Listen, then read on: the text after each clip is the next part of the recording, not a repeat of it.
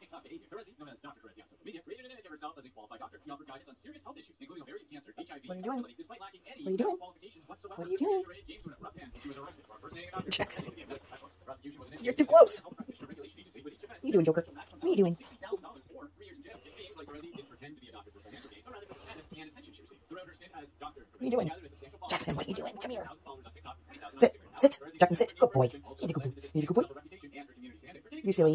Are you silly? Are you silly boy? You're still very cute. Vote for yourself. Probably don't do that because that's very dangerous. The extent of impersonation went beyond her online identity. She claimed to earn a medical degree, including a MBBS and a Master's of Reproductive Medicine, leading to restoring research positions with NSW Health and the Cancer Institute. Following her arrest, Terezi requested Dr. Moore's for action and a 100-word letter of apology, since people are always the most sorry when they come. She explained that her deception began as a small white lie from Professor Brennan and rapidly escalated into a double life. The magistrate sentenced Terezi to a community corrections order for two years and imposed a fine of $13,300. Terezi's pursuit of status on social media is an example of the dangers of prioritizing online fame over responsible behavior. While some may be enticed by the allure of status, can be serious and severe consequences.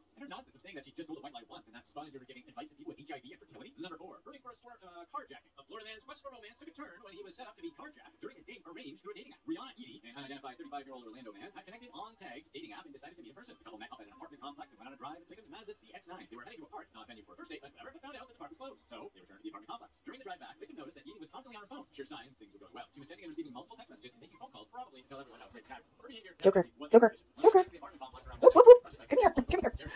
so jumpy. You're so jumpy. You're so jumpy. You need your face wash today. You do.